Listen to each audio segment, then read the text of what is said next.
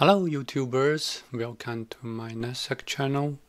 Today's video is going to talk about the Nextcloud installation with SSL certificate.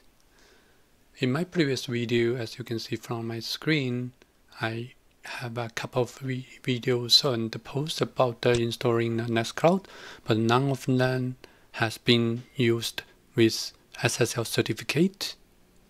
Uh, this video is going to show you almost exactly same steps, but just add it as a self-certificate part using a Docker technology as well.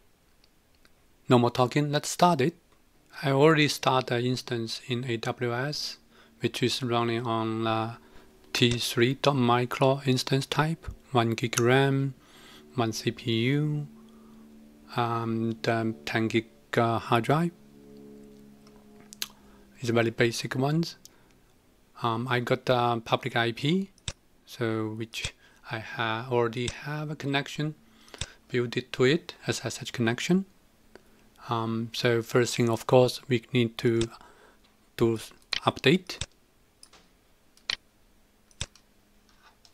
So I already have all commands in my post. I will list in the video description.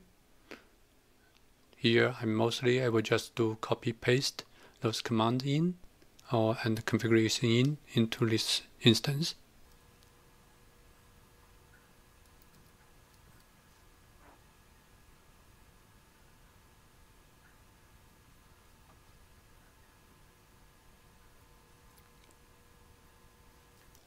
This instance is Ubuntu 18.04 version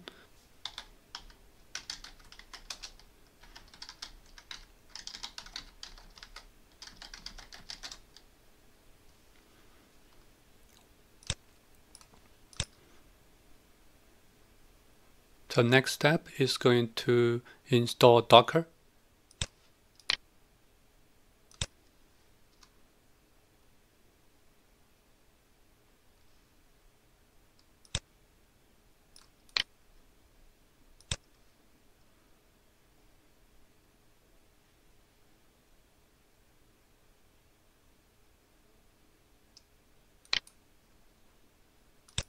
Enable a service and make sure it started uh, when your system rebooted.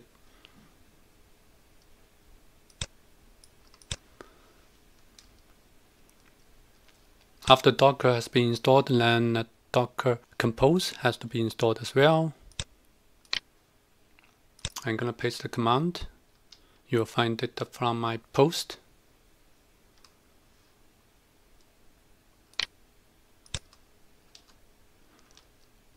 Make it uh, executable. Also check the Docker Compose version. After install the Docker and the Docker Compose, we're gonna start into preparing some folder and files, especially Docker Compose file. So we're gonna make um, nginx folder conf.d folder that's gonna be for nginx configuration file. And then um, we're gonna create in nginx nextcloud file.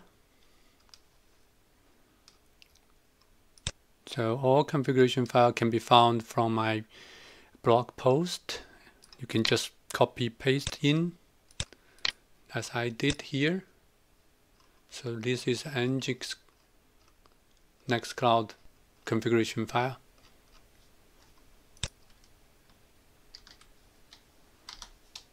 no need to change anything, just copy paste in and it will be good enough. Eventually this folder gonna mount into Nginx uh, Docker. After Nginx file created and uh, we're gonna create in Docker Composer file.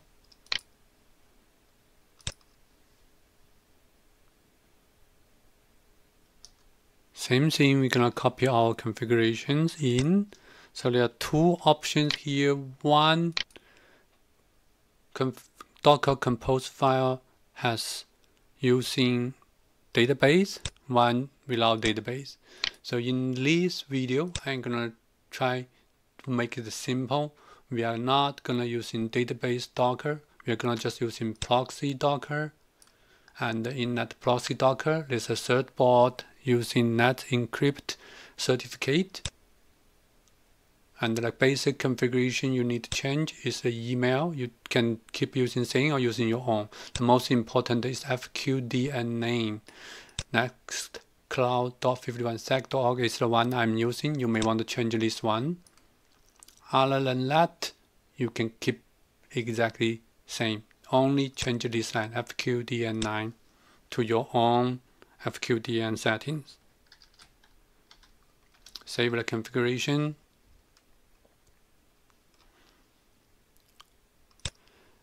Those two files has been configured. Um, if you can confirm those are fine, and then there's two things you may want to check.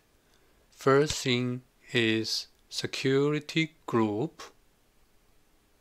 You want to make sure your EC2 instance, which I'm using, has right security group rules, which is allowing port 80 and 443, those two ports has to be allowed.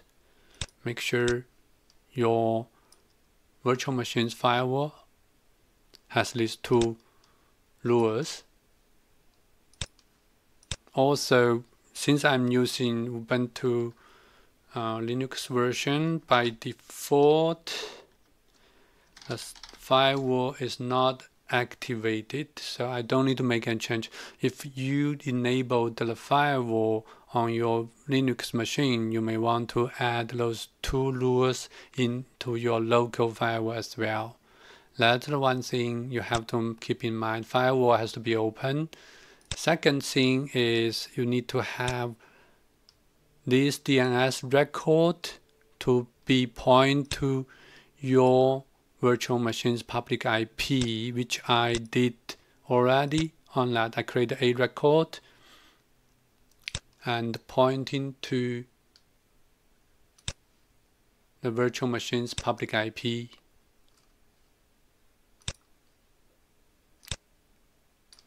So those two steps done, else you will get some failure message when you do SSL certificate application and sign for that.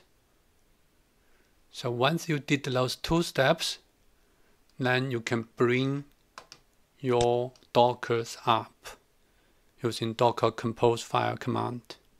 We're gonna go to our configuration file folder.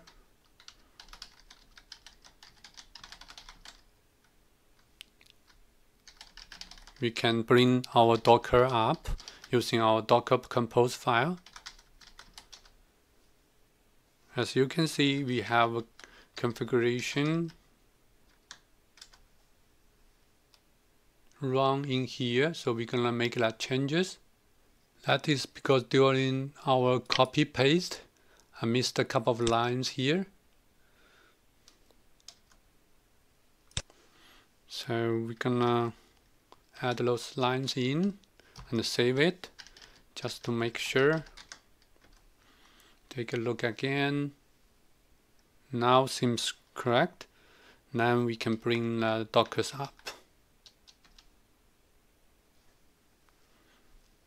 Now you can see that creating network, creating volume.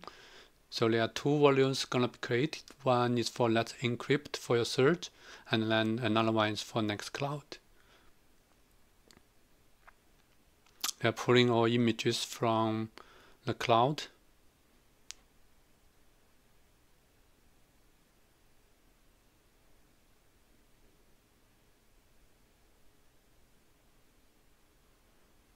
It will take probably less than two minutes. Then those three dockers will be come up. It's faster, probably less than one minute. Now it's up.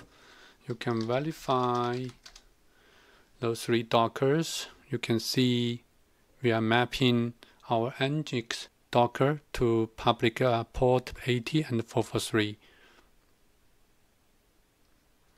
So once Dockers are up, you confirm that. Now we should be able to go back to our browser to browse into those nextcloud 51sec.org.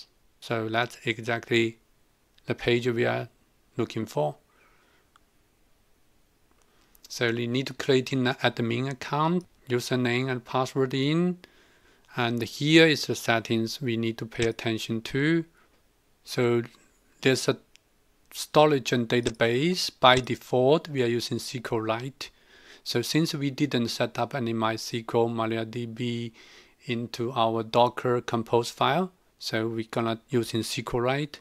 So of course, if we are using SQLite, there's a performance warning here.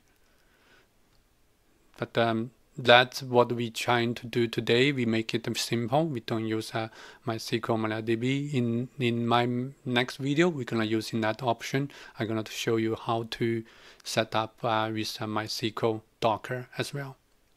So I'm gonna uncheck install recommended apps. We don't need that for this demonstration.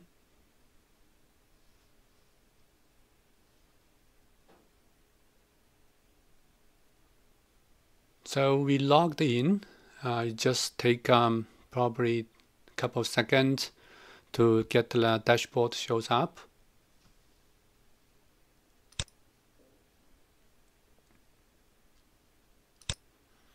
We can quickly browse it to confirm everything works as expected. We can see the built-in photos and we can see the built-in videos as well. Those already been by default is already included as a Nextcloud picture for all employees. Beautiful. And uh, one thing I want to talk about is in the settings.